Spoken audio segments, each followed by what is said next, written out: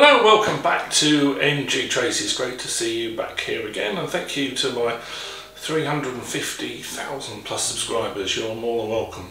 So today we're going to be having a go with this. This is the Swan entry level coffee machine. Now this is the scaled down version of what you're going to see in Starbucks. We're going to be using real ground coffee, not pods or anything from any of the machines today, and we're going to be frothing up milk with real steam. So I would say this is a lot more fun. It's a lot more time uh, and effort to get it right and it's a lot more cleaning. Probably better for the planet because all you're actually throwing away and recycling is ground coffee. Um, if you want to grind your own, you do it ahead of, of this using this machine.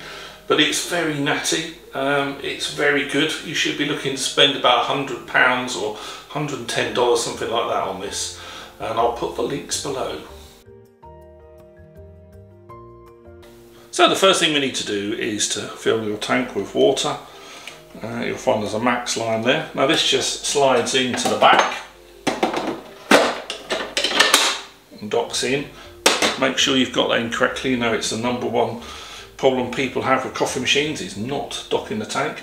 And when you're doing your cleaning uh, with a microfiber, make sure you clean around where the tank and the uh, base unit exchange water. Having a close-up look to what you've got, so you've got the base machine and you turn that on, that's very easy. It's the last button there and you've got a red light there and this has got a temperature gauge here and you need to be to about there. You'll see a little cup for actually um, brewing your coffee and need to be round this end here to be able to use the steam and really froth up the milk. So we're going to get it on first but actually I've had this on before, have a look play and you can see that's already gone green. So there's an on button, this is the button to force the water under pressure through the coffee grounds and this is the button to operate the steam on the edge here when you're ready to make your milk. So well, what we're going to do first of all I'll show you how to fill up. I think we've all seen the baristas using these bits of kit haven't we in our favourite coffee shop and I'll just show you actually what you need to do with that. So you'll find with the Swan, you've got this one, which is your padder downer, or damper downer, just to compact it, and you've got a spoon, and you've got two little inserts there, uh, one is double the size of the other, and on this uh, you'll find there's a little little sort of uh, knob there, and that just clips in there, and then you've now got that in correctly. All this needs to be washed obviously before you use it if, if you've just been given this or a similar machine for Christmas. So I find that just one of these costas is actually enough for me. So just that popped in. I don't want to go too near the edge. Compact that down a little bit.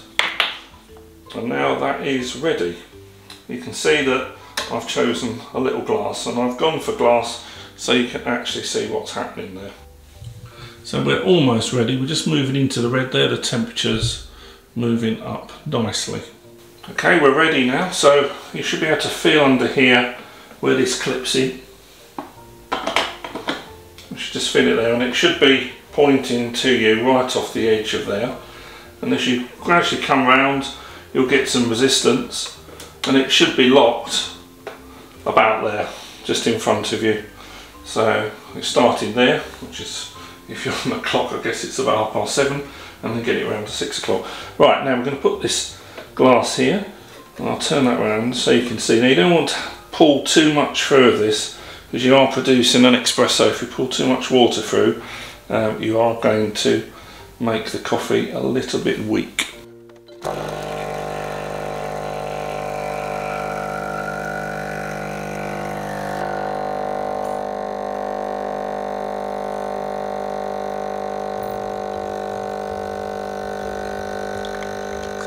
It exactly the same as you would in your local coffee shop. Fresh espresso.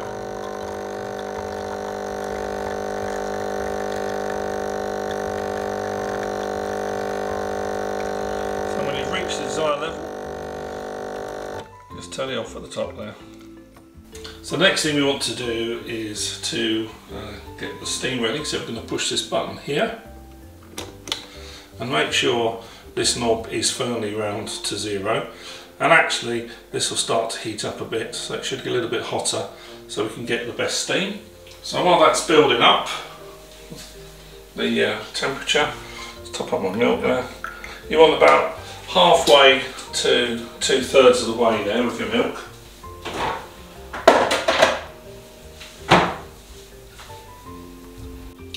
See this is uh, building up nicely now.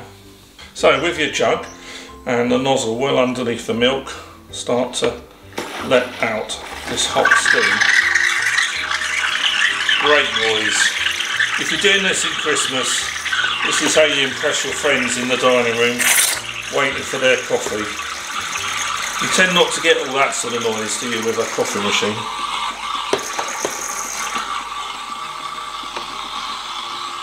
Now some people have a jug that will be telling you the temperature of the milk here. Um, if you find that easier then that's fine. I just want to warm up that milk and froth that. And this is very much depending what you're making, a latte or a cappuccino, but you get the gist of it there. And then you turn that one off. And we're going to flip the button on the top off there.